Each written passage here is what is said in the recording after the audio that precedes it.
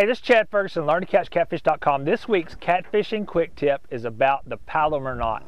Palomar knot is super easy to tie, super effective, and super strong. I'm going to cut away here, show you how to tie the Palomar knot, and then we'll come back and wrap up this video.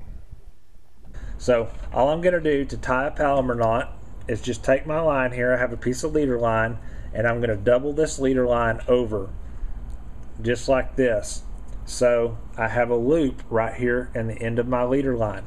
Then I'm going to take my line and I'm going to insert this loop through the eye of the hook, weight, swivel, whatever I'm tying it to.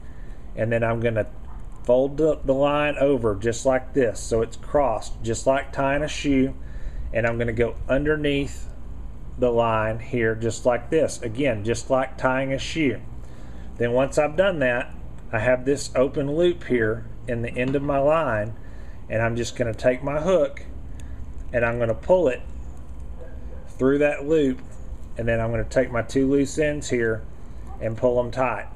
Now you want to go slowly when you slide this up and take the slack out of it and sometimes it helps to wet it a little bit in the process as, as well if you're having trouble with the line sliding uh, or not wanting to slide, then you can wet it down a little bit and it'll ease the process.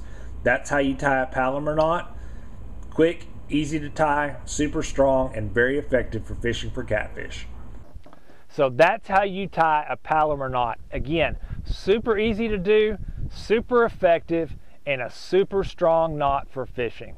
To get more tips, tricks, and information on fishing for catfish, go to learntocatchcatfish.com.